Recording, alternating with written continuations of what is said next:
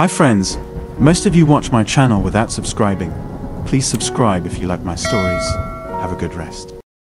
You never know what life has in store for you.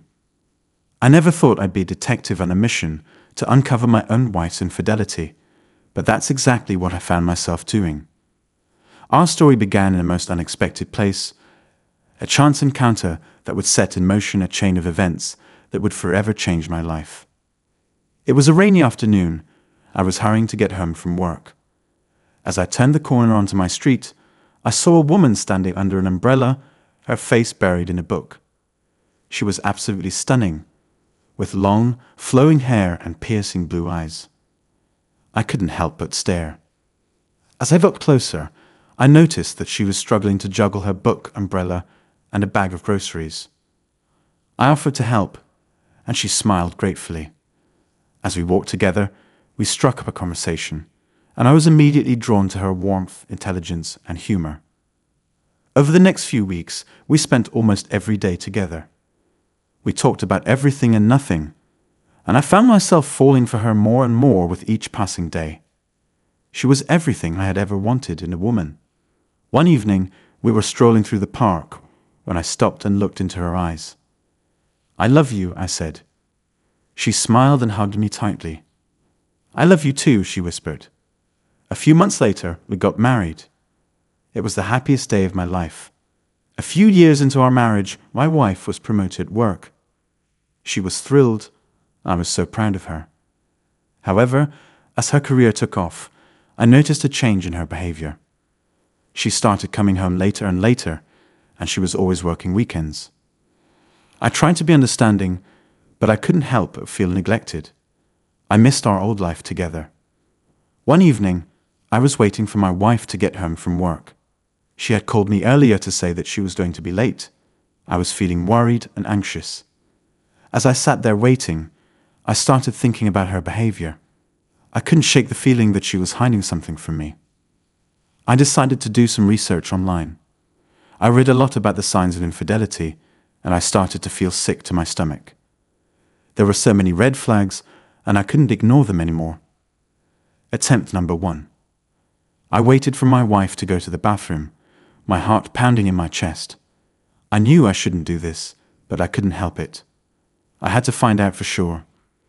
My fingers felt clammy and cold as I reached for my wife's phone, lying innocently on the bedside table. I had been battling with a growing suspicion for weeks, a nagging doubt that gnawed at my insides like a persistent parasite. The signs were subtle, almost imperceptible, but they were there, whispering to me in the quiet moments when my wife's mind seemed to drift far away. I had tried to ignore these whispers, to convince myself that they were nothing more than the echoes of my own insecurity. But the suspicion had taken root, and it refused to be silenced. And now, armed with this dubious knowledge, I found myself standing at the precipice of betrayal, my heart pounding in my chest like a trapped bird.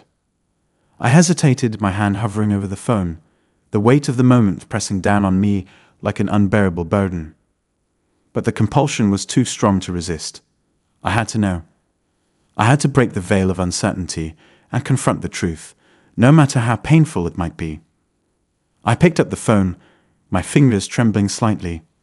The screen flickered to life, revealing a sea of familiar apps and icons. I scanned the home screen, my eyes darting from one icon to the next, searching for any hint of betrayal. Nothing. I opened the messaging app, my heart sinking slightly as I was met with a list of innocuous conversations with friends and family. I scrolled through the messages, my eyes searching for any sign of impropriety, but there was nothing. I opened her email, her social media accounts, her online shopping history. Nothing. A wave of relief washed over me, mingled with a sense of confusion. Was I wrong? Had I been too quick to jump to conclusions? I closed the phone, my mind still reeling from the roller coaster of emotions. As I placed the phone back on the bedside table, I couldn't shake the feeling that I had just missed something. The suspicion remained, lurking in the shadows of my mind, waiting for the next opportunity to emerge. I returned to the bathroom, the scent of my wife's perfume still lingering in the air. I splashed some water on my face, trying to calm my racing heart. As I looked into the mirror, I saw a man haunted by doubt, his eyes clouded with uncertainty. The question hung heavy in the air, unanswered and unsatisfying. Was I being paranoid, or was my wife indeed cheating on me? Attempt number two. Armed with renewed determination, I decided to take a more proactive approach to uncovering my wife's alleged infidelity. I had already checked her cell phone and that yielded no results, but I couldn't shake the nagging suspicion that something was wrong. One evening, my wife informed me over the phone that she would be late at work again. This was becoming a regular occurrence, and I couldn't shake the feeling of resentment. I decided to pay her a surprise visit at the office, hoping to catch her off guard and perhaps uncover some clues. As I drove to my wife's place of employment, I was filled with anxiety and anticipation that I would finally learn the truth. I parked the car a few blocks from the office, deciding to walk the remaining distance so as not to arouse suspicion. As I approached the building, the light from the fluorescent bulbs outside the windows illuminated the street, creating an eerie impression. I entered the building, the scent of freshly brewed coffee and the faint hum of office equipment lingering in the air. I made my way through the maze of cubicles and offices, my heart pounding in my chest like a drum solo. Finally, I reached my wife's department, a quiet room filled with the rhythmic clatter of keyboards and the occasional rustle of papers. I peered through the glass partition, skimming the room with my eyes. My wife sat at her desk, frowning her eyebrows in concentration as she worked on her computer. Her co-workers, mostly women, were absorbed in their work, oblivious to the drama unfolding outside their doors. I felt a wave of relief come over me. The wife was indeed at work and was dutifully performing her duties. The thought of her cheating on me right here, surrounded by coworkers, seemed absurd. I decided to make my presence known. I knocked on the glass partition and my wife looked up in surprise. I smiled and waved my hand, pointing to the door. I brought you a snack, I said, holding out a pizza box and a can of Coca Cola. I entered the department, footsteps rumbling in the quiet room. My wife met me on the doorstep, her face flushed with embarrassment and gratitude. You didn't have to do that, she said, picking up the pizza and Coke. I thought you were hungry, I replied with a note of irony in my voice. We sat down at her table and shared a pizza and Coke. We chatted about her day at work and I listened intently, trying to catch her mood. She looked relaxed and calm, no hint of slyness in her eyes. When we finished our meal, I couldn't shake the feeling that I'd misjudged her. I apologized for disturbing her, and she assured me it was all right.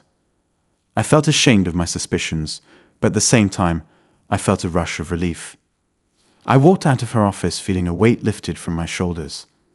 The darkness that had been clouding my mind began to recede replaced by a glimmer of hope. Attempt number three. Doubt gnawed at me, not wanting to let go. I had already made two attempts to find out the truth, but both of them had brought nothing but frustration and a growing sense of paranoia.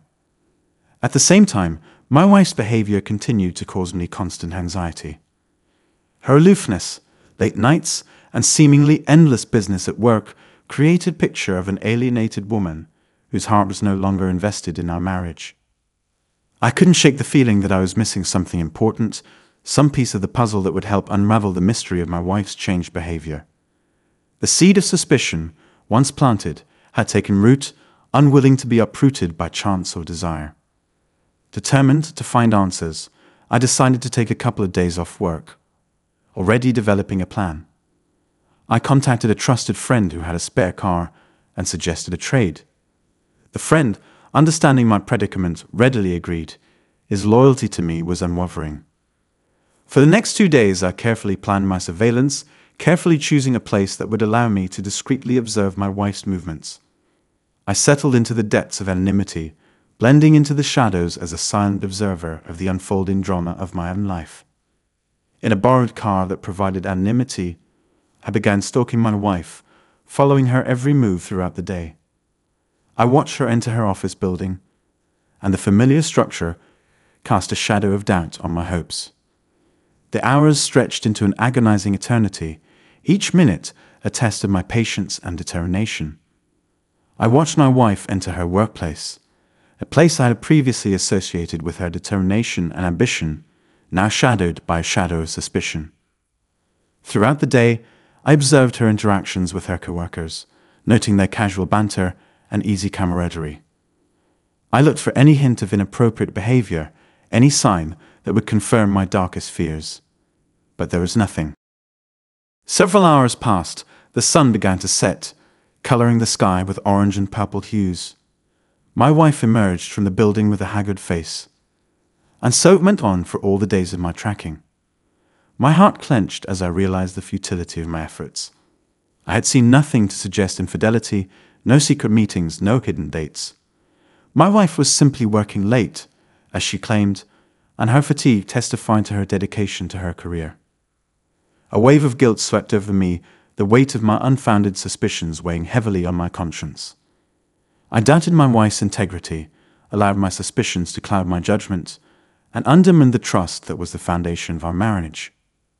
I returned to my friend's house, my mind a tangled web of emotions. I thanked him for his help and apologized for my mistaken suspicions. He assured me that he understood, and his words were a comforting balm to my confused spirit. As I drove home, the silence in the car was deafening, every moment echoing with the echoes of my own doubts. I began to doubt my perception, wondering if I had been too sensitive, if I had allowed my insecurities to distort my perception of my wife's actions. Could it be that my wife is simply a hard working, dedicated woman, and my suspicions are merely the product of a troubled mind? The thought was both liberating and unsettling, leaving me in a state of uncertainty. Her behavior had changed, there was no denying that. The spark in her eyes had dimmed, replaced by a distant aloofness that had become a barrier between us. I longed for the woman I had married, the woman who had filled our lives with laughter and love. But as I watched her move through the motions of our daily routine, I couldn't help but feel a growing sense of detachment. The bond that had once held us together seemed to be fraying, slowly unraveling with each passing day.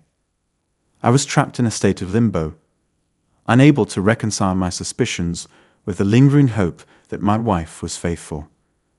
I felt like I was losing my grip on reality, my mind teetering on the edge of an abyss. Attempt number four. Determined to unravel the tangled threads of my suspicions, I decided to make one final attempt to uncover the truth. I would orchestrate a business trip, an intentional absence that would allow me to observe my wife's behavior from afar. With a heavy heart, I approached my boss, requesting a week long business trip to Chicago. The trip would conveniently cover the weekend, providing me with an extended window of observation. He agreed to my request unaware of the tumultuous storm brewing within my mind. I contacted a private detective, a man of discretion and expertise, and briefed him on my suspicions. I entrusted him with the task of monitoring my wife's movements during my absence, his keen eyes acting as my surrogate presence. On the eve of my departure, I invited a skilled technician to our home, instructing him to install surveillance cameras within its confines. The cameras were meticulously positioned the lenses discreetly capturing the unfolding scenes without disrupting the rhythm of everyday life. As I boarded the plane bound for Chicago, my mind was a whirlwind of emotions. Anxiety gnawed at my insides, the fear of betrayal casting a dark shadow over my thoughts. Yet, amidst the turmoil, a flicker of hope remained, a fragile flame that I desperately clung to. The days in Chicago unfolded in a blur of work meetings and forced interactions. My mind, however, remained tethered to my home, constantly checking in with the detective, eager for any sign, any revelation that would either confirm or dispel my doubts. The weekdays passed uneventfully, the detective's reports devoid of any incriminating evidence. My hopes began to rise, a fragile belief that my wife's loyalty remained intact. The detective's report for the weekend was more intriguing. A car had pulled up to our house on Saturday afternoon and stayed parked for three hours. The detective couldn't identify the driver, but the car's description matched that of my friend's vehicle. A wave of suspicion washed over me, the familiar doubts resurfacing with renewed vigor. I contacted my wife, feigning casualness as I inquired about her weekend activities. She nonchalantly mentioned she explained that there had been a sewer line breakdown at the house, and she had called our friend to help out.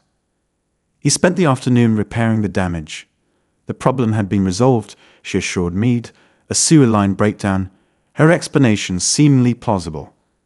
Her words calmed my flaring thoughts. Missed it again. With a sense of relief and regret, I gave the command to cease surveillance. Upon my return from Chicago, I arranged for the removal of the surveillance cameras, the weight of their presence no longer bearable. When the security specialist arrived to dismantle the cameras, I couldn't resist the urge to review some of the recordings. I fast forwarded through the mundane scenes of my wife's daily life, searching for anything that might have escaped my attention. The footage blurred into a monotonous montage of household chores, errands, and quiet moments of solitude. I grew bored, and my initial curiosity waned. With a sigh of resignation, I turned off the monitor, and the lingering doubts finally subsided. I had done everything I could to discover the truth, and if it remained elusive, then perhaps it was not meant to be known. As the days turned into weeks, my doubts began to fade, replaced by a growing sense of agreement. Perhaps I was wrong, perhaps my suspicions were unfounded. Update A month had passed since my aborted surveillance operation, and I had almost convinced myself that my suspicions were unfounded. My wife's behavior had returned to a semblance of normalcy, and I was determined to put the past behind us and rebuild our relationship. But then, like a recurrent nightmare, the sewer in our house clogged again. It was a Saturday morning, and my wife had left for work, leaving me to deal with the unpleasant task of plumbing repairs. As I delved into plumbing repairs, I noticed something strange. The old insulation tape I had used in a previous repair was still wrapped around the pipes and looked intact. However, that color tape had run out, so I bought new tape in case of new problems. If my friend had indeed come over to fix the sewer the previous weekend, as my wife had claimed, why hadn't he replaced the old tape with the new one? The discrepancy gnawed at me, reigniting the doubts that had plagued me for so long. I decided to revisit the surveillance footage, hoping to find some answers. As I scrolled through the hours of recorded video, I noticed something that made my heart skip a beat. On the same weekend that my friend was supposedly fixing the sewer, he had actually been at our house but not to work on the plumbing. Instead, he was there with my wife. They were in our bedroom making love. It was hard for me to watch. The videotape captured every painful detail, the betrayal laid bare. A chill ran down my spine. The sudden realization hit me like a blow to the gut. My wife had never called our friend to fix the sewer. She had lied to me, fabricating the entire story to cover her tracks.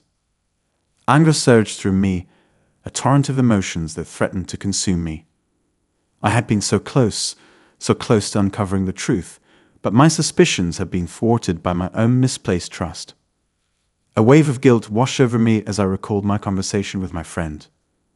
I had foolishly confided in him, revealing my doubts and suspicions. And now, it seemed, he had betrayed my trust, alerting my wife to my plans and enabling her to deceive me further. I felt like a fool, a puppet manipulated by the deceitful strings of my own insecurities and the treachery of a friend. My wife and my friend, two people I had trusted implicitly, had conspired against me, leaving me feeling utterly humiliated and betrayed.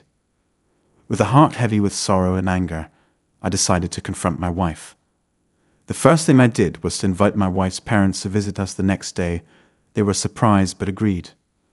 I called her immediately, informing her that her parents were coming over for the day. I wanted her to face the consequences of her actions, to be exposed before those she held dear. When my wife's parents arrived, I ushered them into the living room where I had set up a projector. I explained to them, my voice trembling with emotion, that I had something important to show them. With trembling hands, I turned on the projector, and the room was bathed in the soft glow of the screen. The video began to play, capturing every intimate detail of my wife's infidelity, a betrayal laid bare for all to see. My wife's parents watched in stunned silence, their faces etched with shock and disappointment. They had never suspected their daughter capable of such deceit, and the realization of her betrayal left them speechless. My wife, her face flushed with shame, sat in silence, her eyes downcast, unable to meet the gaze of her loved ones. She had been exposed, had lies and deception laid bare for all to see. As the video ended, a heavy silence filled the room. The weight of betrayal hung in the air, a suffocating presence that threatened to consume us all. I looked at my wife, her face pale and drawn, her eyes filled with regret. I felt a pang of sympathy for her, for the pain she had caused herself and those she loved. But my anger, my hurt, was still too raw, too fresh to allow for forgiveness. I knew that our marriage was beyond repair. The trust shattered, the foundation crumbled. With a heavy heart, I knew it was time to end this charade, to set us both free from the shackles of a broken relationship. I stood up, my voice firm and resolute, and told my wife that it was time for her to leave. She didn't protest, her head hung low, her spirit broken. She silently gathered her belongings and left the house without a word, leaving behind the remnants of a love that had been shattered by lies and deceit. As I watched her drive away, I felt a sense of emptiness wash over me. I had lost my wife, my friend, and a part of myself. In the aftermath, my wife tried to justify her actions, pleading for forgiveness and understanding. But her words fell on deaf ears. The trust had been broken, and there was no going back. I filed for divorce, unable to bear the thought of sharing my life with someone who had so carelessly shattered my trust. It was a painful decision, but it was the only way I could move forward and rebuild my life. Update 2 The months that followed were spent in litigation and emotional turmoil. I tried to come to terms with the betrayal, with the fact that the woman I loved and cherished had become a despicable traitor. As the divorce finalized, I felt a sense of relief mixed with regret. I was freed from the suffocating weight of deception, but a part of me still mourned the loss of the love I thought we had shared. I immersed myself in my work, seeking solace in the familiarity of my daily routine. I surrounded myself with supportive friends and family, their love and encouragement providing a much needed lifeline. Slowly but surely, I began to heal. The pain didn't disappear entirely, but it became a dull ache, a reminder of the lessons I had learned. I learned that trust was a precious gift, not to be given lightly. I learned that people could disappoint you, even those who thought you knew best. And I learned that life was a journey filled with both pain and joy, and that it was up to me to find the strength to keep moving forward. Thank you for listening to my story. I wish you never to face betrayal of friends or your life partner. Now write a comment and give a like if you like this story.